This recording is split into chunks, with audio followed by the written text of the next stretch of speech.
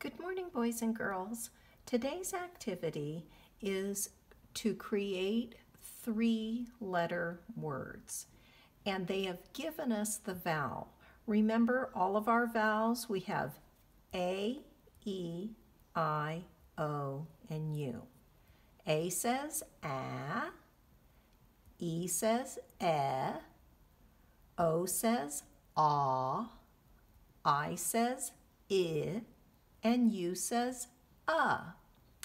So what we are supposed to do in today's activity is we're supposed to name the picture. I see a dog. They've given us the vowel. They've given us the middle letter. We are supposed to figure out what is the first sound in dog and what is the last sound in dog.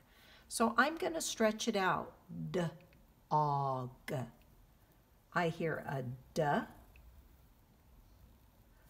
a, g.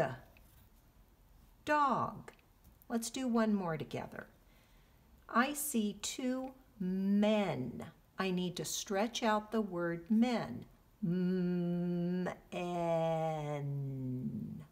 I hear a m, e, n. Men. And then when you get all done, if you'd like to color it, that would be another activity for today.